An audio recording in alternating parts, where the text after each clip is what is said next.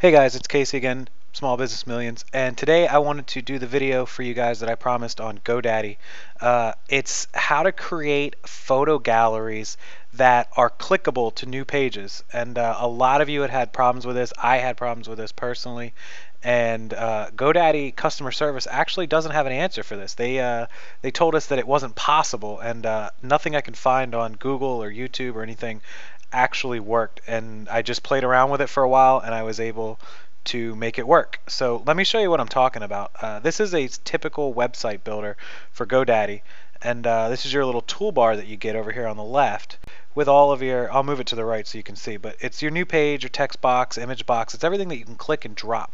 So let's say that you have one page and we're using uh, Storybook Cakes here, uh, Crystal Crystal Gerstner's uh, website here that I'm, she was so nice of her to let us use. Uh, and so under galleries, she has all different um, special events that she separates these uh, these different uh, cakes in. So you know, wedding, birthday, anniversary, graduation, or let's say you're a photographer, same thing. Your different menus. Well, previously you could have these tabs, and they would all go to the same page. When you click gallery, and you'll see this here in a second, you can see they're all on the same page. And that's what used to happen when you clicked each one of these tabs. So now we're able to separate them and they'll go to a different page. Now the pictures are not actually up yet. They haven't been uploaded, but you can see it's going to go to its individual page. No matter which one I click will go to a different page. You can see that one's blank, that one's got that one, this one has the same one but it's a little left. Anyways, these tabs are now separated and let me show you how you'll do that. So the first thing you got to do is create a new page and when you create that new page it's going to come across here on the top of your navigation and name it gallery or whatever you want to name it. Once you have your new page we're going to create a second new page. Let's say that this one is going to be for uh, special occasions. Let, uh, let's put baby showers. That's a good one. Baby showers.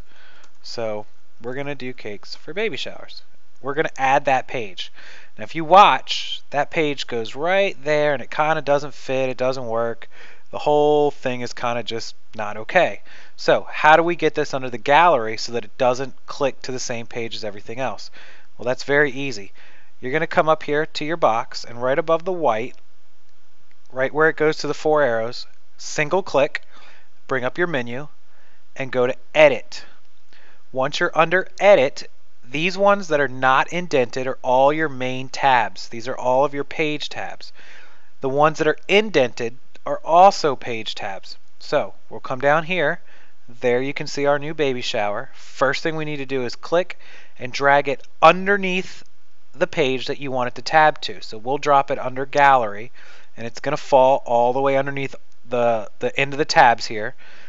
And once it's under gallery, over here to the right, press indent, and then save.